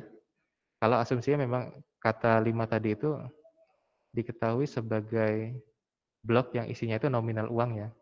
Meskipun mungkin si ini crypt analisnya itu tidak tahu itu uh, pesan aslinya apa di blok itu. Tapi dia tahu blok itu tuh tentang nominal uang. Nah, itu di sengaja dihilangkan untuk memanipulasi ini tadi ya. Apa di sini untuk mengelabui penerima pesan ya, itu contohnya. Oke. Hmm, terus cara mengatasi kelemahan ini. Nah, berarti tadi kan memang secara independen gitu ya. Jadi oh ya, ketika ketika memang ini yang diterima oleh si ini penerima asli ya kan ini masih menjadi suatu kalimat yang bisa dibaca gitu ya, maksudnya yang bisa dimengerti. Nah, berarti nanti si penerimanya jadi tidak tahu bahwa pesan ini, ini sebenarnya sudah diubah oleh pihak yang tidak ber, berhak tadi. Yang seharusnya dia menerima infonya uang ditransfer 51 juta rupiah, tapi di, yang dia dapatkan, yang dia baca itu adalah uang ditransfer 1 juta rupiah. Dan dia tidak menyadari kalau di sini ini terjadi uh, sudah terjadi perubahan pada pesan aslinya. Nah, itu salah satu kelemahan yang chipper blok tadi, yang IBC tadi ya. Nah, berarti untuk uh, mencegah yang seperti itu gimana? Jadi kan harapannya si penerima itu ketika orang yang tidak berhak tadi itu mengubah gitu ya, mengubah di beberapa blok, itu tuh tidak terjadi seperti ini. Jadi ada ada suatu tanda yang uh, bisa diketahui bahwa oh ini pesannya sudah di ini sudah dimanipulasi oleh pihak lain gitu. Jadi dia tidak mentransfer uang satu juta gitu, karena dia sudah tahu ini pesannya sudah dimanipulasi. Nah itu berarti kita lakukan ini. Kita lakukan uh, teknik enkripsinya itu bagaimana caranya supaya blok-blok sebelumnya itu atau setiap blok ya itu bergantung dengan blok-blok sebelumnya. Nah, jadi ketika yang satu itu diubah atau dihilangkan, dimanipulasi gitu ya, nanti akan berdampak ke blok-blok yang berkaitan.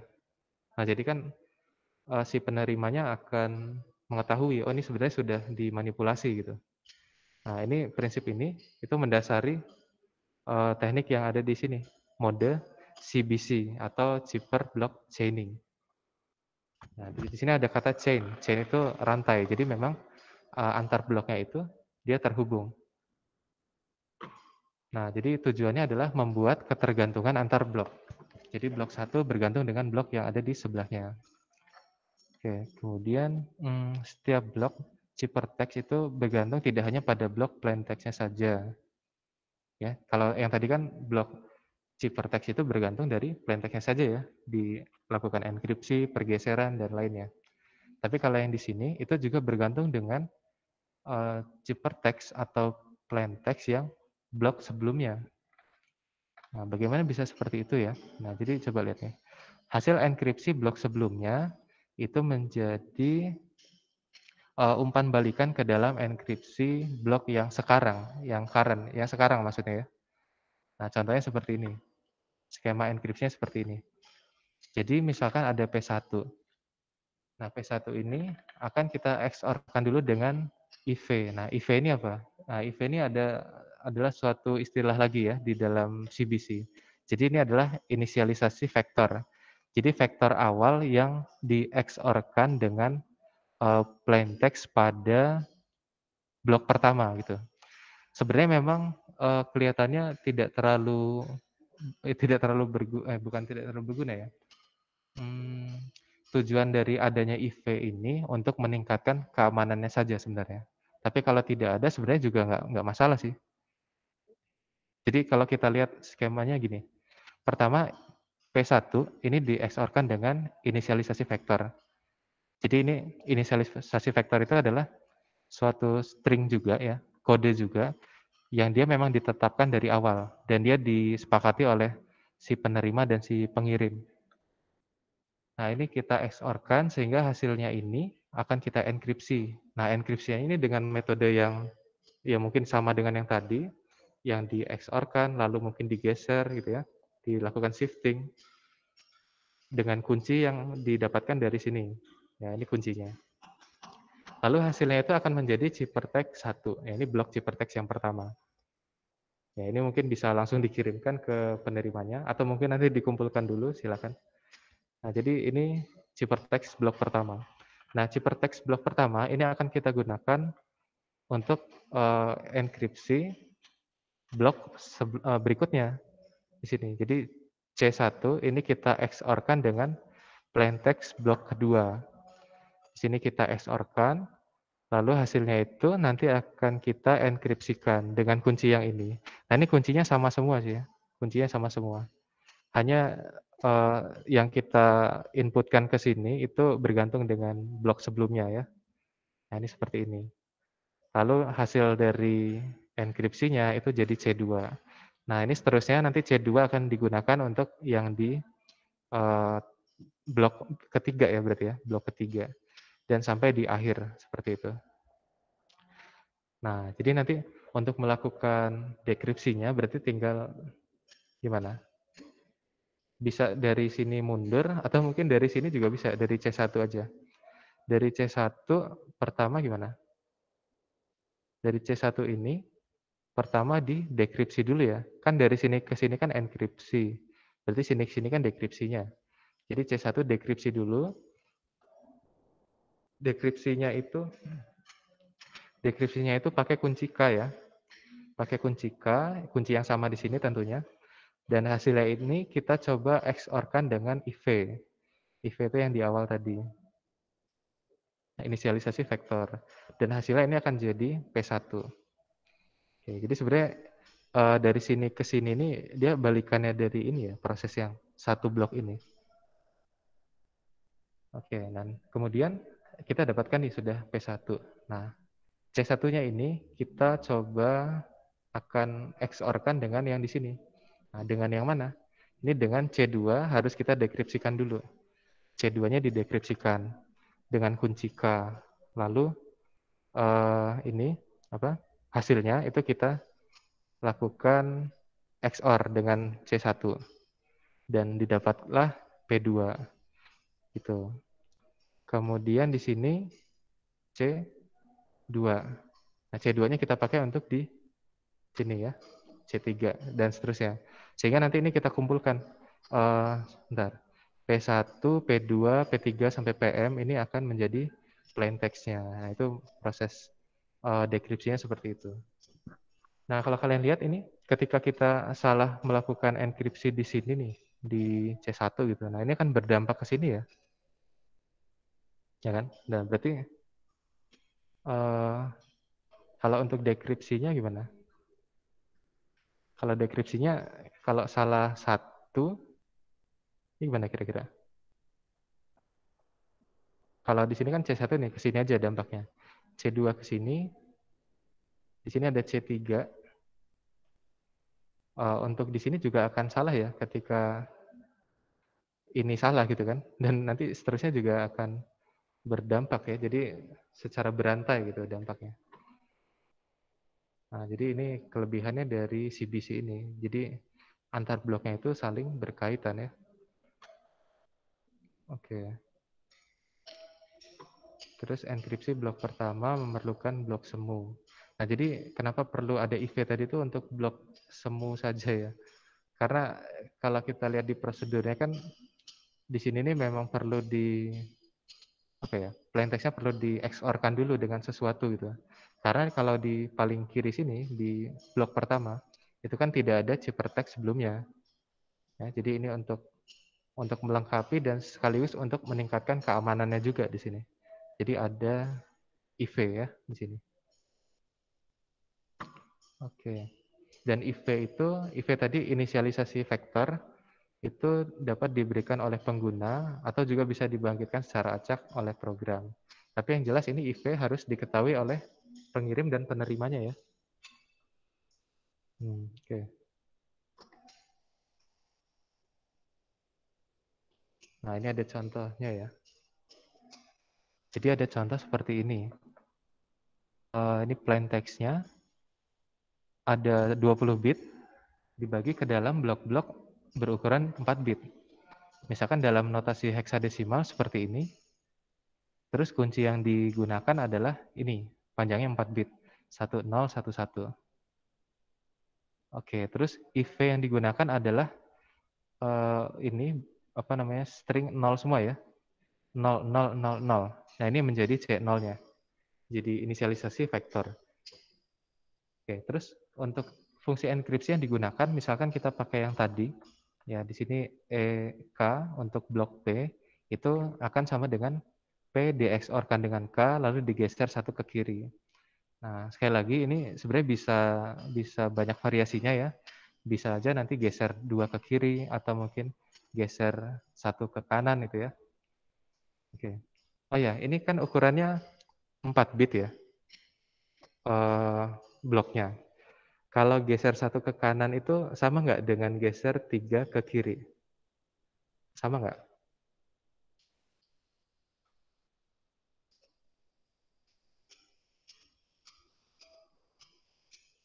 Ayo, sama nggak kira-kira?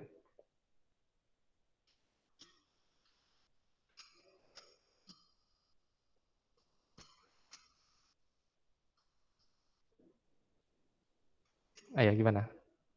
Sama nggak? Kalau ukurannya 4 sama, sama ya? Oke.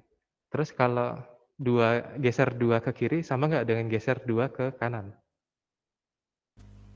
Sama Pak. Sama juga ya, karena dia saling saling inverse ya kalau di dalam ukuran 4 bit itu. Nah, jadi itu uh, istilahnya saja untuk uh, mendefinisikan fungsi enkripsi. Oke, nah ini kita coba lihat ininya tahapannya. Ketika tadi kita punya plain text yang ini sudah kita bagi ke dalam 5 blok yang ukurannya 4 bit. Kita ambil P1 ya. P1 itu yang di sini berarti. Lalu kita XOR-kan dengan inisialisasi vektor yang C0 tadi, yang isinya 0 semua. Kita XOR-kan, lalu hasilnya menjadi ini. Ya, XOR-nya seperti yang tadi ya, eh, per bit ya. Hasilnya ini, kemudian ini akan kita enkripsi. Nah, enkripsinya itu dengan kunci K yang tadi. Nah, itu sesuai aturan yang di sini ya, yang kita definisikan. Di XOR-kan dengan kunci, lalu digeser atau di wrap atau di shift ya istilah lainnya satu bit ke kiri. Nah, sehingga hasil XOR-nya ini lalu digeser jadi seperti ini. Dan ini adalah ciphertext 1. Oke, kemudian uh, C2. C2 ini kita dapatkan dengan cara apa? Hasil dari C1-nya kita XOR dengan P2. P2-nya yang mana tadi? Ini ya.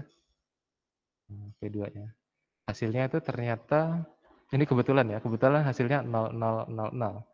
Ya, jadi seperti ini. Lalu kita skripsinya dengan kunci K seperti ini lalu digeser satu ke kiri, dapatnya ini. Dan ini adalah ciphertext untuk blok keduanya. Dan ini seterusnya sampai ke lima bloknya ini di enkripsi ya. Sehingga itu dapatlah C1, C2, C3, C4, C5. Dan kalau kita ubah ke bentuk uh, heksadesimal, itu dapatnya seperti ini. Nah, terus di sini kita bandingkan nih. Uh, apa? Plain text itu ini. Lalu ini untuk yang text tapi pakai yang ECB yang pertama tadi, yang tidak ada apa rantainya, tidak ada chainnya tadi.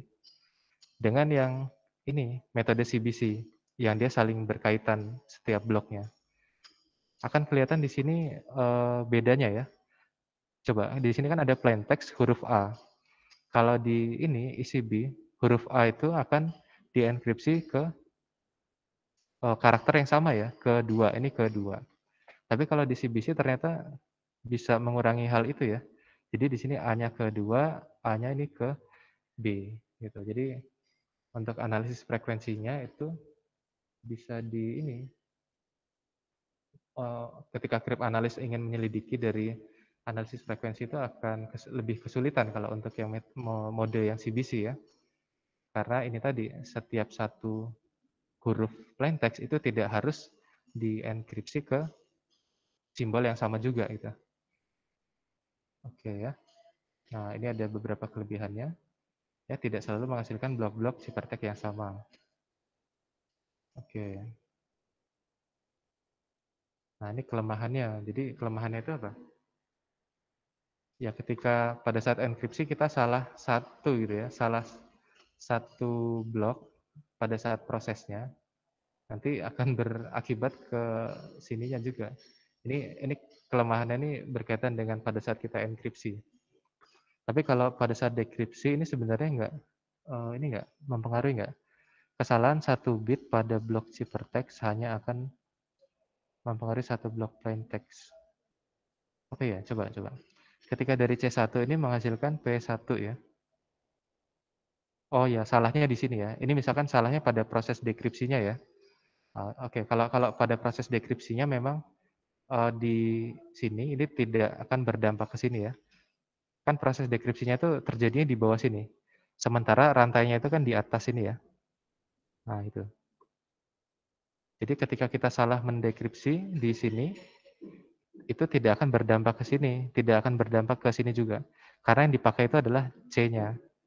Tapi kalau di enkripsinya, itu akan berdampak di sini ya. Ketika salah di sini, ini jadi salah juga nih. Kalau ini salah, ini salah juga dan seterusnya. Oke, itu uh, pada proses ini ya. Tapi kalau misalkan uh, kesalahannya bukan pada dekripsi ya, tapi pada ini. Misalkan yang tadi orang yang tidak berhak tadi mengubah ciphertextnya. Misalkan yang diubah adalah C2. Ini C2 diubah. Ya mungkin P1-nya ini tidak akan berubah. Tapi P1-nya kan eh P2-nya akan berubah ya. P2-nya berubah. P3-nya berubah nggak kira-kira? Tentu berubah juga ya, karena C2-nya diubah. Terus kalau P3-nya diubah, uh, ininya berubah nggak? Apa namanya tadi? C4 ya? Enggak, Pak. Nggak berubah ya? C4 itu, oh iya benar, nggak berubah. C4 ya? Hmm. Oh ya, C4 memang nggak berubah. Tapi P yang di sini berubah nggak? P3S berarti 1, 2, 3. Oh, P3-nya akan berubah kan? Jadi ketika kita mengubah yang ini, P2-nya berubah, P3-nya akan berubah juga.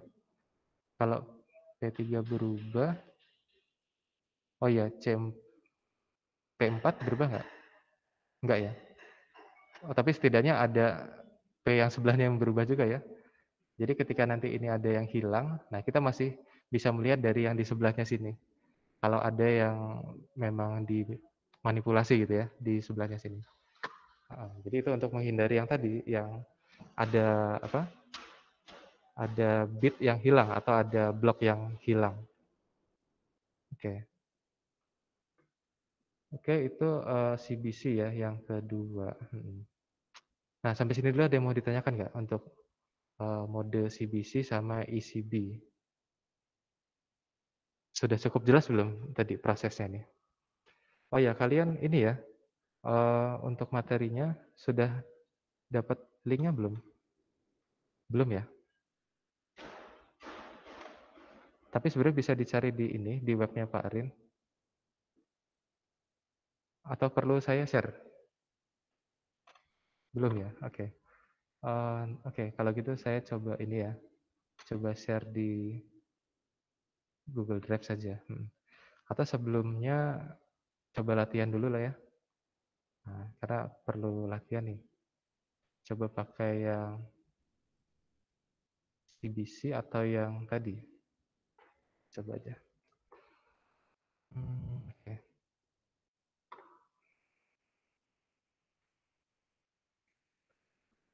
Oke. Uh, mungkin saya tunjuk salah satu ya. Siapa ya? Hmm. Nah ini aja, Sufa saja. Sufa ada, Sufa?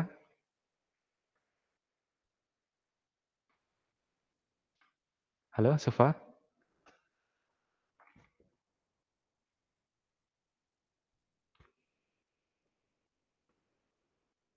Aduh, ada, ada orangnya ini, Sufa.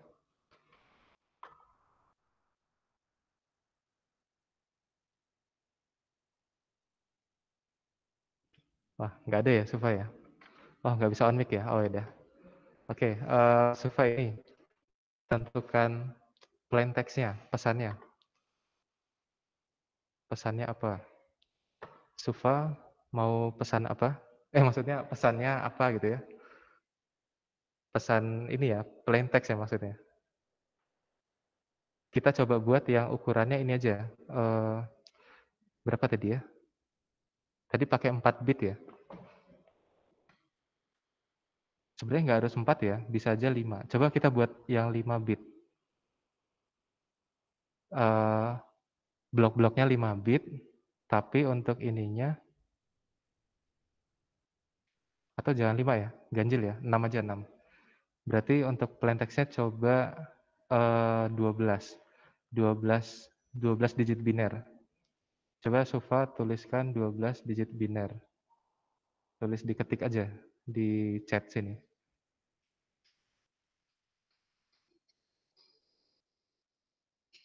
Satu, nah, ya, oke, ini 12 ya.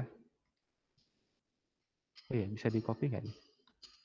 Oh, di sini mungkin. Hmm, oke. Ini 12. Terus kalau kita partisi ke ukurannya 6 ya, 6 blok ya. Jadi seperti ini. Nah, ini misalkan jadi P1, terus ini P2. Oke. Terus kita pilih kuncinya. Uh, kuncinya itu ya harus berukuran itu juga ya. 6 ya, 6 bit ya. Oke, siapa yang mau menentukan kuncinya? Hmm, ini aja ya, Senora, Senoria. Senora tentukan kuncinya berapa? Kuncinya 6 bit ya. Diketik aja di sini atau ya terserah.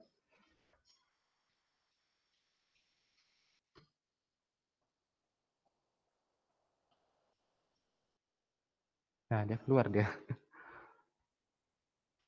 Hmm, oke. Okay.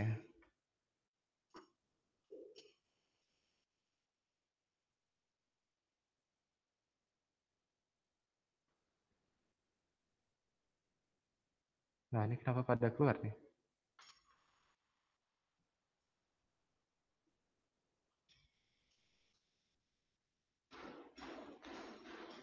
Oke, yang lain deh kalau gitu. Uh, Habib aja, Habib. Habib, coba tentukan kuncinya berapa? Kuncinya terus uh, sama kayak bitnya atau bebas, Pak? Uh, uh, ukurannya teksnya. 6 bit. Ukurannya 6 bit. Teksnya bebas. Teksnya bebas. Hmm, sebutkan aja berapa? Kriptografi gitu aja, Pak. Oh enggak, maksudnya dalam ini, dalam biner. Oh, dalam bit. Ah. 1011 001. Oh, kelebihan ya. Ini ini aja ya. Oh ya udah nol Oke. Nah sekarang dari sini coba uh, lakukan enkripsi ya. Kita punya fungsi enkripsinya uh, EK pada blok P itu misalkan dari P di XOR-kan dengan K terus pergeserannya misalkan uh, dua ke kiri. Nah, gini. Kita coba pakai yang metode uh, eh, dulu, pakai yang IBC. Yang pertama pakai IBC, lalu yang kedua yang pakai CBC. Oke, kira-kira gimana nih? Nah, siapa yang mau mengerjakan? Oh, atau masing-masing mengerjakan aja, nanti uh, yang bisa kita ditampilkan ya, yang bisa ditampilkan. Oke. Oh, mungkin saya bagikan dulu ya ininya. Materinya, sebentar. Saya stop dulu.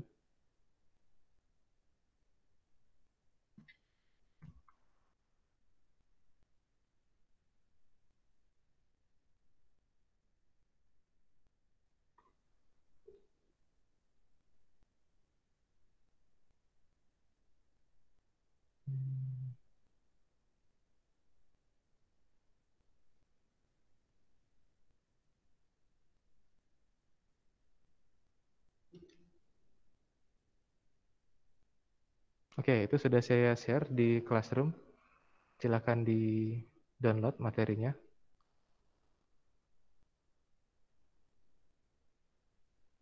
Oke, jadi coba kalian lakukan ini ya, lakukan enkripsi untuk yang ini. Nah, jadi dari plain text-nya dua ini saja, dua blok ini saja. Terus kuncinya ini. Terus coba lakukan enkripsi dengan dua metode tadi, IBC sama CBC. Terus fungsi enkripsinya seperti ini.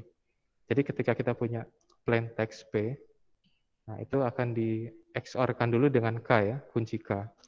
Kemudian nanti setelah di XOR-kan, lakukan pergeseran dua ke kiri. Oke, gimana nih? Atau saya kasih contoh dulu mungkin ya untuk yang IBC. Oke, jadi yang pertama, uh, pertama kan kalian tuliskan dulu ya bloknya ini. Apa itu? P1 yaitu 01, 01, 00. Terus di sini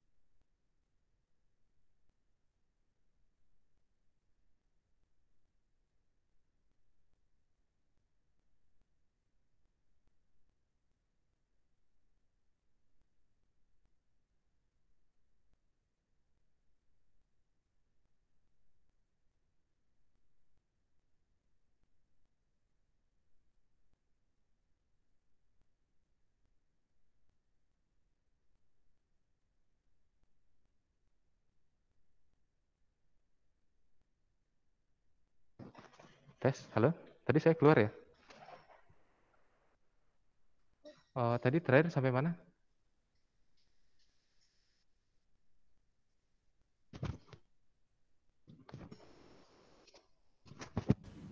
Sampai soal, Pak. Latihan. Ya, sudah dibahas ini belum tadi ya? Sudah ya? Ini udah udah kedengeran belum tadi saya bilang di sini? Oke, udah. Intinya di sini uh, ini ikutin prosedur ininya yang IBC dengan CBC. Kalau yang IBC itu dia langsung saja dienkripsi per bloknya. Jadi tidak berkaitan antara blok satu dengan blok yang di sebelahnya. Tapi kalau yang CBC itu yang berkaitan ya. Jadi untuk uh, mendapatkan C2 itu bergantung dengan C1-nya. Oke, gitu ya.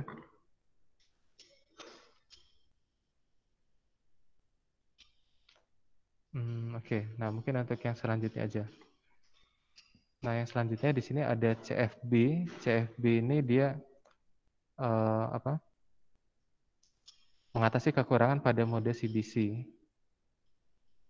Nah, di sini karena kalau yang CBC tadi kan dia bloknya uh, ini ya berapa tadi? sama semua ya. Jadi misalkan kita ingin melakukan enkripsinya itu pada sub dari bloknya gitu. Jadi bloknya itu kita bagi-bagi lagi di dalamnya. Nah, jadi misalkan kita punya blok yang ukurannya M, tapi kita ingin melakukan enkripsinya itu setiap yang berukuran N. Di mana N ini adalah pembagi dari si M-nya. Nah, ini ada beberapa prosesnya ya, seperti ini.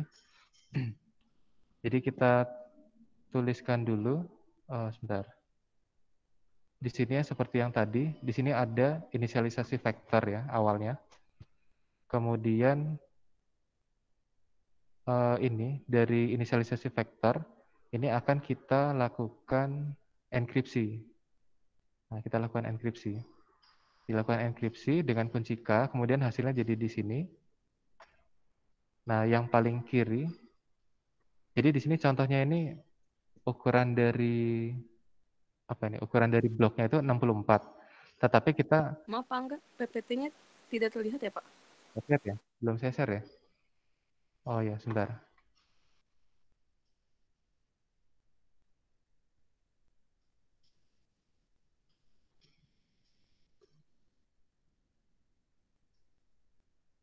Oke, sudah kelihatan ya? Sudah Pak. Hmm, eh, sebentar.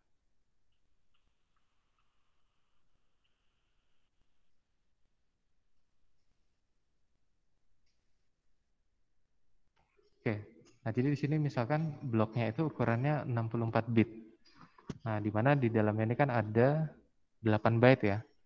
Dan setiap proses ini, proses enkripsi dan ini, nanti akan kita lakukan per satu byte-nya. Jadi setiap 8 bit. Makanya dia menggunakan ini. Uh, bisa dikatakan dia subnya dari uh, blok-bloknya gitu ya. Kita bagi-bagi lagi bloknya. Jadi ketika ukuran bloknya ini memang sangat besar, yaitu 64 bit, tapi nanti dalam prosesnya itu kita bagi-bagi ke dalam 8 bit.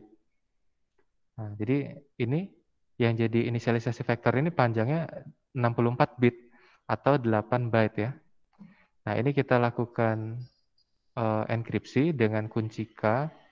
Tentunya K-nya ini juga ukurannya berapa? 8 byte juga ya. Uh, atau 64 bit kita lakukan enkripsi sehingga dapat hasilnya seperti ini. Nah, satu byte yang paling kiri, yang paling sini ya, uh, ini akan kita ambil, lalu akan kita XOR-kan dengan uh, eh, 8 bit plain text-nya gitu. Jadi di sini kita ambil satu byte ya, satu byte dari plain text itu kita XOR-kan. Dan hasilnya ini akan menjadi uh, byte untuk text-nya itu satu byte ya satu byte untuk text-nya dan ini nanti kita kita taruh di sini. Lalu ini kita geser gitu ya. Ini yang sebelah kiri akan kita buang gitu. Akan kita buang sehingga nanti ini akan jadi di sebelah sini. Dan ini nanti akan ada 64 bit lagi yang baru. Itu kita lakukan enkripsi dengan kunci yang sama ya. Nanti akan menghasilkan 64 bit lagi. Atau 8 byte ya sama saja Nah, satu byte yang paling kiri ini akan kita XOR-kan lagi dengan satu byte plain text berikutnya ya. Nah, ini kita XOR-kan lagi dan hasilnya akan menjadi C2 gitu. Nah, ini kita lakukan terus-menerus sampai ya ini plain text-nya sudah diproses semua. Jadi ada berapa byte plain text gitu yang ada di uh, pesan aslinya ya. Oke, seperti itu. Dan untuk lakukan dekripsinya itu dengan cara yang sebaliknya ya, atau mungkin mirip ya sebenarnya. Jadi ini ke sini juga, terus ini dekripsi, lalu ini diambil yang paling kiri, ini menjadi plain text, tapi ini C-nya yang kita bawa ke sini. Gitu ya, ini yang CFB seperti itu. Nah ini kalau notasi secara matematiknya seperti ini ya. Tapi mungkin akan lebih paham kalau lewat diagram ini tadi ya. Oke, nanti silakan kalian uh, lihat lebih lanjut untuk yang ini. Terus kemudian ketika M-nya sama dengan N, maka ya keseluruhan ya yang dipakai ya, nanti akan jadi seperti ini. Oke. Itu untuk yang CFB. Nah, ini yang berikutnya untuk yang OFB. OFB itu dia mirip seperti CFB ya mirip seperti CFD kecuali n bit dari hasil enkripsinya ya. Jadi kalau tadi kan CI-nya yang kita bawa ke paling kanan sini. Tapi kalau untuk yang OFB itu yang di sini. Leftmost byte-nya yang kita langsung bawa ke paling kanannya antriannya ya. Di sini dikatakan antrian. Oke, jadi ini yang dibawa ke sini. Lalu ini kita enkripsi sama ya seperti yang tadi hasilnya adalah ini, terus yang paling kiri, ini kita lakukan XOR dengan plain text-nya. Hasilnya adalah C. Nah, CI. C ini kita simpan sebagai ciphertext-nya gitu ya. Nah, jadi bedanya hanya di sini untuk yang OFB dengan CFB. Oke seperti ini. Nah, itu kalau misalkan ukuran M-nya sama dengan N, jadinya terlihatnya seperti ini ya. Oke. Nah, terus di sini yang terakhir ada mode counter ya. Mode counter ini tidak melakukan perantaian atau chaining seperti CBC. Nah, dia itu counter itu seperti ada apa ya? Ada list yang baru di sini. Counter 1, 2, 3 sampai M. Di mana itu kita gunakan untuk melakukan ini ya. Menjadi kunci untuk ini ya, itu counternya itu yang kita enkripsi justru. Kita enkripsi lalu kita XOR-kan dengan plain text-nya. Ya. Ini. Nilai counter harus berbeda dari setiap blok yang dienkripsi. Nah, ini yang menjadi ciri khas dari uh, mode counter ini. Selanjutnya, oke. Okay. Kalau untuk prosesnya sih sama ya. Ini dienkripsi dengan kunci K, lalu di XOR-kan dengan P, menghasilkan C1. Tapi ini tidak berkaitan ya dengan blok yang satunya. Yang jelas ini uh, counternya yang harus berbeda untuk setiap plain text-nya ini. Kita enkripsi gitu. Oke, itu untuk yang mode counter ya. Nah, seperti itu. Jadi kita sudah mengenal ada lima jenis ya. Lima jenis apa tadi? Operasi chipper ya yang ada di chipper block ya. Jadi ada ECB, di mana ECB itu langsung per uh, bloknya. Jadi antar bloknya tidak berkaitan. Kalau CBC itu dia ada rantainya, jadi saling berkaitan antara blok satu dengan blok yang berikutnya dan seterusnya. Terus kalau CFB itu yang tadi ada di mungkin pemahamannya bisa kalian lihat dengan diagram ini langsung ya. Jadi ada yang dipindahkan ke sini, ada antriannya, dan dia itu per sub sub blok gitu ya. Jadi bloknya kita bagi-bagi lagi. Nah, kemudian kalau untuk yang keempat OFB itu hanya modifikasi dari CFB ya. Kemudian kalau yang counter mode itu ada suatu daftar yang dikatakan counter tadi, di mana setiap blok itu harus berbeda. Lalu kita enkripsi dan akan kita XOR-kan dengan plain text-nya. Itu yang counter model ya. Jadi seperti itu bedanya. Oke, uh, sampai sini ada yang mau ditanyakan mungkin?